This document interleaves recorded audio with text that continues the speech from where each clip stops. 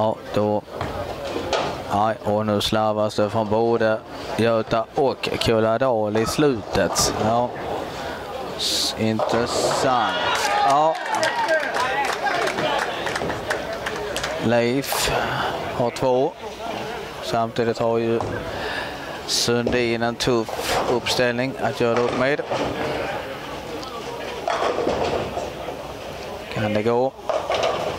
Uff, ja, nej, där var man. Inte helt borta. Kalle plockar undan den där.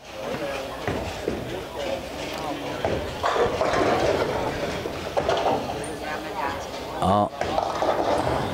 Då ska vi se Leif som har helt klart en bättre serie än föregående. Kan sätta en till och sluta på 2.10.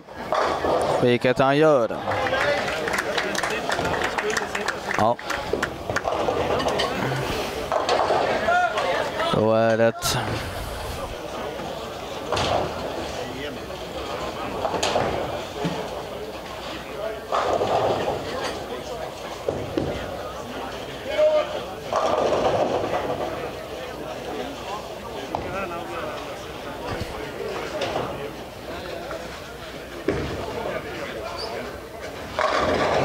Ja, Krusbo Blix där.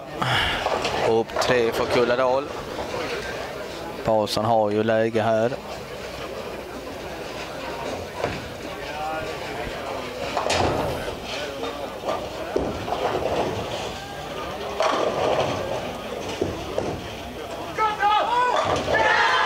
Ja, den där är ju mycket viktig och Paulsson visar också varför han en gång varit i landslaget. Plocka fram den när det verkligen gäller det.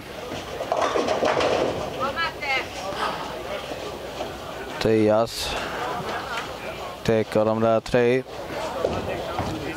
Då sätter detta press på Blixt och han ska göra. Ja, en dubbel.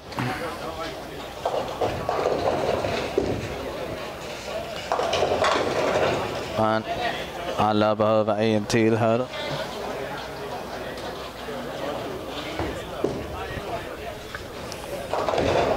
Ja, Ros plockar en där på ett hål. Ja, inte så man vill avsluta en serie tyvärr, men ibland blir det så. Paulsson. Ja. Ja, det är intressant och kul när man får se sånt där. Det är ju egentligen inte önskvärt hos Götas still, men dessvärre för Kulladal är det ju till stor glädje.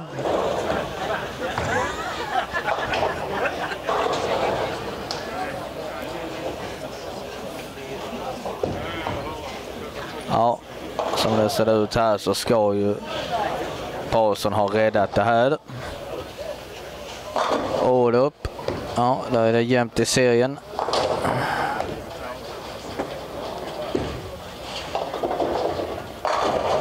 Ja, där plockar Blixt den, men Paulsson har ju säkrat detta. Ja, absolut. Och det är ju det där spelet som gör att det blir så spännande.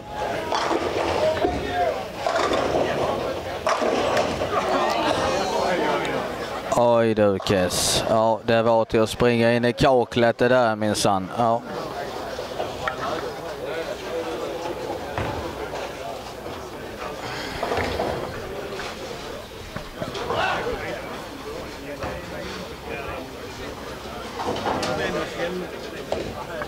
Ja, då ska vi se vad betyder nu detta här då för Wahlgren som sätter den. Ja, ska han kunna ändra på detta, Kalle Wahlgren?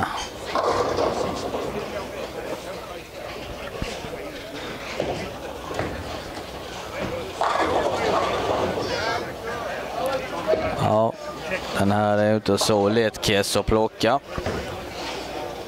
Då ska man ha rätt hårt slag. Nej, det blir det ingen alls där. Nej. En viss frustration ser väl ut också att infinna sig och det är förståeligt att få 8-10 över på en sån träff är ju inte önskvärt precis. Ja, då är det för Wahlgren här att som väljer att strejka. Ja, den här barnparet har man också säkrat. Och med det ser vi ut att gå mot en 7-8 ledning för Göta Still.